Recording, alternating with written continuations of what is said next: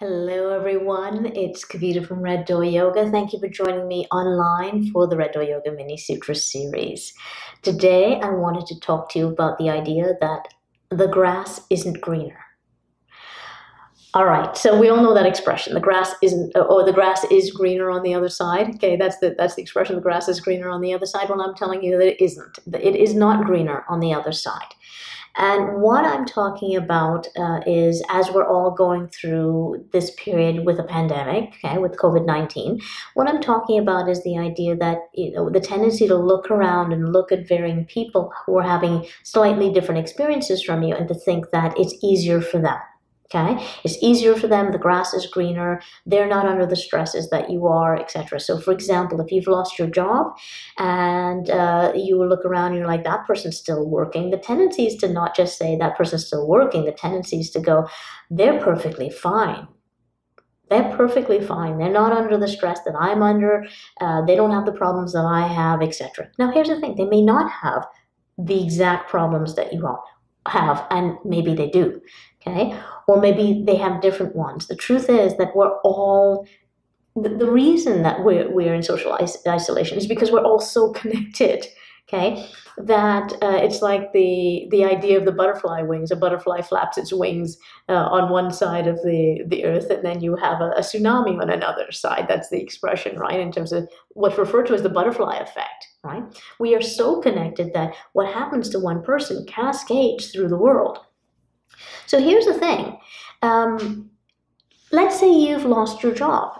And so what's going on for you is you're like, I'm having to think about my mortgage, I'm having to think about my rent, I'm having to think about food and whatnot, um, and I am struggling with those things, but this person has a job and they have money and whatnot. Well, here's the thing there's the person with money, as in they are still working, and chances are they're going to work and they are under more stress at work than they've ever been in like especially if they're at work they might be in a, a what would what's considered to be an essential service. They have to interact with people. They may really wish that they could be at home where they don't have to interact with people because they are are stressed over this on a daily basis. They're worried about their health. They're worried about when they come home, interacting with their family at home, and then possibly making their children ill, or you know, a spouse who has asthma ill, or anything like that. Um, they are still worried about things. They're still under stresses, and they are actually probably looking at you and going, "I really wish I could be home like this person." I would rather take EI, or I'd rather take this, or I'd rather do that, or I'd rather have a period where so I could feel safer than I do. What I'm trying to say to you is that we all have our own set of issues that we're dealing with. The tendency to look at someone and go, their grass is greener, is to focus on what you feel that you're lacking and to focus on what you want and to recognize that they have what you think you want. And that's why you think the grass is greener. You're completely ignoring all the things that they wish that they had, that they are looking at you and thinking, I would like that. Okay? You're not realizing that the human tendency is to want that which we don't have. And it's taking place for you, yes, but it's also taking place for them that they are also suffering from that desire and that attachment and that aversion, that the grass isn't greener, that we're all human having this experience and we are all struggling with our attachments and our aversions and our egoic pushes and pulls. That does not mean that we all have to suffer to that extent. We are still in control of mitigating our suffering, but the instinct that we have, that egoic instinct that we have, pushes us all to suffer. And that you cannot know the details of another person's life, the issues that cause them stress. And so instead of turning others into a cardboard cutout, in terms of turning them into this two dimensional idea that has it so good compared to you, look towards compassion, look towards an awareness of how much you don't know. Okay. Also, look towards gratitude gratitude for things that you have that others do not.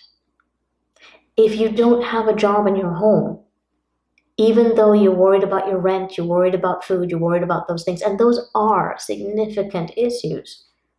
There are things to be grateful for that you have. The isolation that you're able to give yourself at this point. Okay? Uh, as an example, the ability to maybe go sit outside on your front stoop or your balcony or whatever it is and just take a breath of fresh air. The fact that the environment appears to be clearing up a whole lot more than it's been in a lot of places. These are things to be grateful for. I'm not saying that they make your stressors go away. What I'm saying is they put things into a better perspective and they cause you to experience uh, a, a, a settling within yourself, to look at others and to envy them. That's the grass is greener idea. To look at others and to envy them and to, um, what's the word I'm looking for? To um, resent them. That causes nothing but your own suffering and eventually the suffering of others, because there is the butterfly effect. Whatever happens within you cascades into the world. Okay? I hope this was helpful, everyone. And I very much look forward to continuing to see you online to discuss these important uh, things, not just for general self mastery, but specific to what we're all going through right now.